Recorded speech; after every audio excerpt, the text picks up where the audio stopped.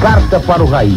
Há um atleta dançarino bailando gramados verdes, estádios de tantos sonhos e soluços. Um atleta com a camisa 10 que faz a magia, sua bandeira de paz. O sonho está além do sonho quando o futebol corre pelas arquibancadas, onde estão os que anseiam pela vida e pelo direito de sonhar. E nesse espetáculo de tantos acenos, lágrimas, risos e alegrias, eu tomo a liberdade de incluir teu nome, meu caro Raí, como esse homem que corre o espaço do grito de gol e o abraço de uma torcida, de qualquer torcida, porque o que vale mesmo é a beleza e o brilho. Assim, poeticamente te incluo, mágico dessa bola que corre pelos estádios, entre as bandeiras, o grito cobrindo as tardes dos domingos. Poeticamente, eu te saúdo, te saúdo, Raí, mago dos instantes que faz o sonho existir. E faz também nascer a saudade de sempre, porque habitarás outros mundos e outros estádios, deixando a magia do futebol brasileiro mais triste. No entanto, fica esse gesto de sempre. O homem correto, cumpridor do seu ofício, a imagem que não se destrói e se estrutura sempre no brilho de todas as coisas, para que todas as coisas possam realmente existir. Álvaro Alves de Faria. Foi bom, hein, Rei? É que eu choro hoje aqui, né? Isso é pra você. Chegando a hora de ir embora, foi indo. Leve pra França. Com todo prazer, acho que é um, um grande poeta, né? Não tenho que dizer nada, lindas palavras, só tenho a agradecer. Tá certo. Tem gol do Raí aí?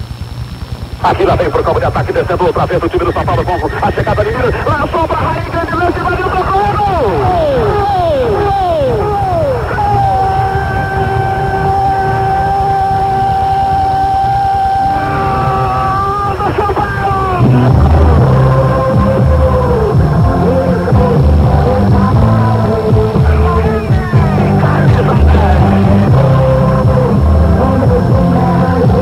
São Paulo pra cá, o José Silveira acompanhou grandes jogos seus, grandes gols seus, momentos muito importantes.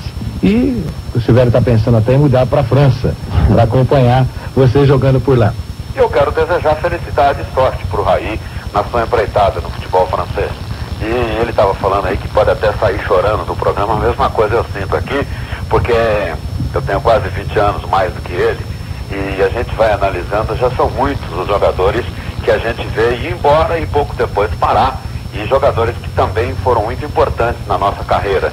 Aliás, um dia desse eu fui numa solenidade com o Milton Neves e o pessoal estava falando que tem muita saudade do grito de gol que eu dizia e depois encerrava, é do doutor.